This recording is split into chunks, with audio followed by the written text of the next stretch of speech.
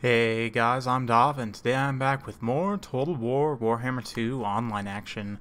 Today we're back with the Lizardmen, going to be taking on the Proud Empire, so let's get straight to the army compositions.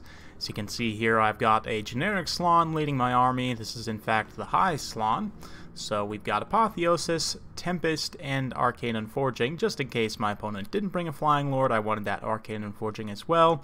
Blood Statuette of Spite is basically like uh, similar to Rune of Wrath and Ruin, but without the speed debuff. Does a similar amount of damage and scales similarly. Uh, very good stuff. Has four charges. Shield the old ones in the double banishment, of course. And uh, yeah, that's pretty much it for this guy. We've got a Skink Chief up in the air and a Saurus Scarvet on a uh, cold one here to give that bodyguard status. For an infantry corps, we've got four Saurus warriors with shields with a temple guard, uh, four skink cohort with javelins, and a couple of skink skirmishers, vanguard deployed in the woods there. We've also got some cold one spear riders hidden in the woods in the back. For my opponent's force, he's got Emperor Karl Franz up on Deathclaw here. Man, I haven't seen Deathclaw in some time. I forget how awesome looking he is compared to other Griffins. But uh, anyway, Karl, of course, having the very heavy weapon strength, massive charge bonus. Looks like he's got Reikland Runefang and Ghal Maraz with Stand Your Ground. Uh, let's see here. A Jade Wizard with uh, Earthblood and Regrowth. Yep. Looks like Royal Altdorf Gryphite supported by a Warrior Priest. All good stuff. Two units of Reiksguard. front line of spearmen with shields, uh, silver bullets, and another spearman in the back. So very good stuff. This is a uh, an Empire army that I would probably take against the Lizardmen. It's uh, pretty well balanced. Got some cap, got some guns, uh, I probably wouldn't take Karl up in the air for the reason that he's about to find out. You can see my Slann is actually hidden in the woods here. He's going to advance. Then as Karl comes forward, he's going to start to take some shots, and also we're going to unleash the dreaded Overcast Tempest. So this is one of the main reasons why you don't want to bring Flying Lords against the Lizardmen. Something like this can happen, and my opponent's going to immediately have to start dumping his magic into Karl Franz to keep him alive. You can see he pops a regrowth there. And uh, he's also going to drop, or sorry, in Earthblood, he's also going to drop a regrowth in just a moment because Karl's taking a severe amount of damage between the uh, Tempest and the Skink Chief and these uh, skirmishers and everything. So yeah, my opponent's definitely going to want to advance here. You can see he's going to try and push off those Skink skirmishers with the Spearmen with shields, which he probably should have done a little while ago, but still. Uh, Karl is going to get healed back up, and that didn't honestly take too much off the balance power, considering he does have the Jade Wizard, but uh, of course that is going to pull out a lot of the Winds of Magic from the Jade Wizard. You can see the Silver Bullets opening up shots, my Skink Chief discovering them the hard way, their stalk mechanic making them uh, nigh un unspottable, but uh, anyway, the Empire Force is going to advance now on the, uh, the hill position that I've got here since I do have a bit of a ranged advantage. You can see the Empire forces pushing up, then the guns are actually just going to sit in range and start to shoot my Skink Skirmishers, which is not the worst idea in the world, but they probably want to save their ammo uh, for some more high-value targets, although that volley did quite a bit of damage there to those Skink Skirmishers. You can see these uh, Royal Altdorf Gryphites pushing up through the woods. Unfortunately, they don't see this force of mine uh, until it's almost too late here. We pop that Blood Statuette of Spite, and then you can see the uh, Temple Guards and more pushing through, pushing them off.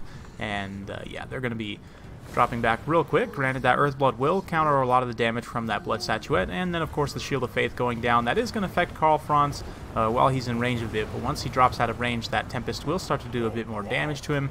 Would have probably been better to stay in range with the Warrior Priest to actually give Karl that damage resistance to help mitigate some of the damage from the Tempest, but uh, you can see the Empire forces pushing forward. Um, I actually um, was not playing on my PC. I've been uh, staying at my brother's house, so I've been playing on his PC, but uh, yeah, I forgot that he has it set up default so that they're on skirmish, so the, the skink cohort actually skirmish back. Forgot to uh, take that off, but we did switch that off. Unfortunately, they did take a nasty charge there, but some Saurus are going to come, try and bog them down, and then the Spear Riders also coming in. The, these Spear Riders just sitting in reserve here, just in case Karl tries to do something like this, where he dives down onto the Slann.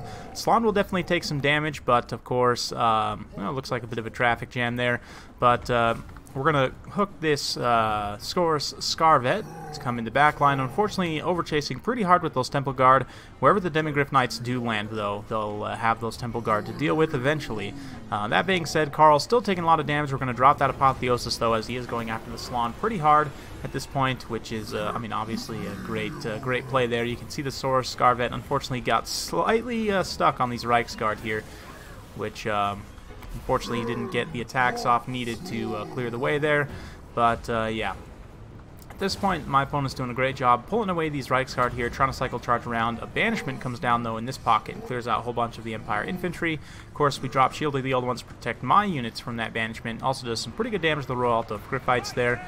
But uh, Empire infantry definitely going to lose out here. And over on this side, uh, the uh, Zintler's Reiksguard and the southern unit of Reiksguard did get kind of dragged down there by the rear charge of the One Spear Riders.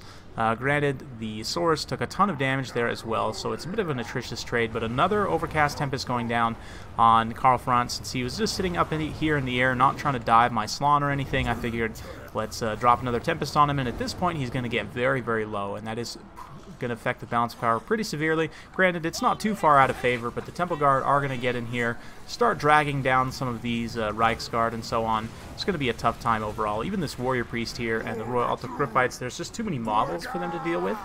Cold One Spear Riders, the uh, Temple Guard, and more, just kind of dragging them down through sheer numbers. The Spearmen are, are on station supporting, um, but they're not going to do a whole lot against the Temple Guard, obviously. They'll do okay against the Spear Riders, but uh, yeah, you can see the Altdorf Gryphites getting dragged down there. One more regrowth going off on Karl Franz, trying to bring this balance power back into, uh, you know, a reasonable reasonable balance, but uh, unfortunately these Reiksguard that came back from routing, they are going to be able to do some damage on these Saurus, but uh, yeah, I don't think it'll be enough to cause any major leadership issues. Uh, with the Warrior Priest being isolated here, we're probably going to go after him with these Cold One Spear Riders.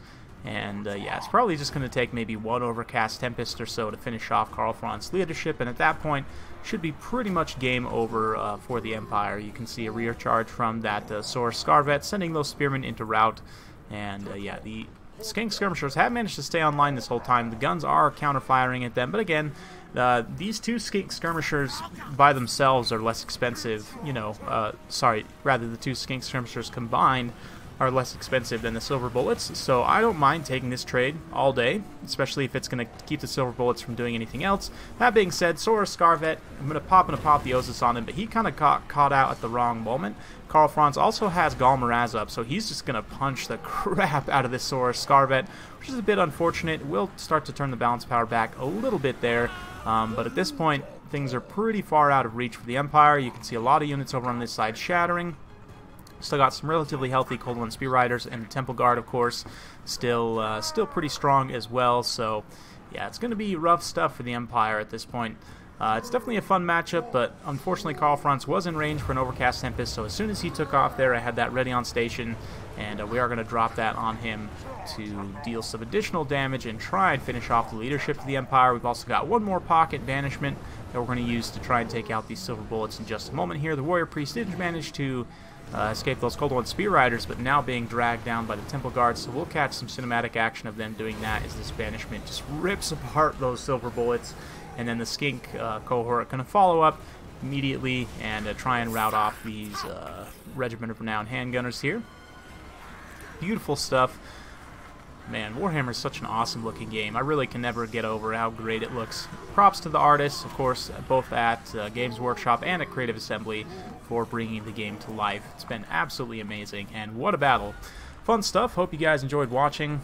Uh, yeah, the High Slann, you know, it's not a super common pick, so people often don't think about it, but it's risky, very, very risky to take Flying Lords against the Lizardmen, and this is the reason why, because the High Slann can really punish you for doing so, especially someone as expensive as Karl Franz up on Deathclaw is with all his items. We can check that in just a moment here, but um, yeah, in overall terms, uh, the Saurus did quite well. Obviously, they're mostly just fighting Spearmen in the front line, but despite repeated cycle charges from the Reiksguard, who themselves did quite well, um, you know, the Saurus Warriors were able to kind of hang in there. Temple Guards also, you know, they did okay.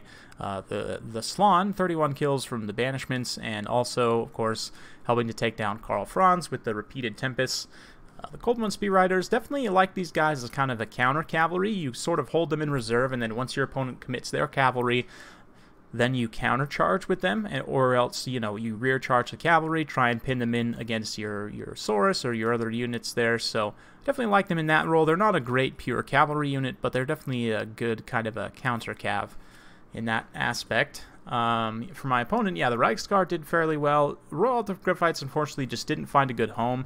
If they had tried to push around that flank and go after that Slann pretty aggressively, um, you know, that may have been good, but that's originally why I had the Temple Guard in that a starting position to begin with, but if they had been able to, say, pull the Temple Guard out of position and then maybe come back around and then get on the Slann, you know, just a thought. Um, but yeah, the Slann definitely needed to be focused down, I think, a little bit more aggressively, maybe using the silver bullets and more. One thing I do like about Shield of the Old Ones as well is if your Slann's getting focused by, like, say, a Luminarch or silver bullets or uh, even the Hammer of the Witches, that Shield of the Old Ones, of course, mitigates magic damage, all of which apply to the units I just listed from the Empire, so... Um, yeah, for my opponent, I'd probably put Karl Franz down on the ground just to make him a bit cheaper. Um, and then you could maybe cut the Warrior Priest and go with a Witch Hunter instead, because the Witch Hunter, you know, he's a single model that has that armor-piercing missile, so he can kind of run around, kite a little bit. He has the uh, Accusation, which is good even against multi-model units, especially like something like the Cold One Spear Riders.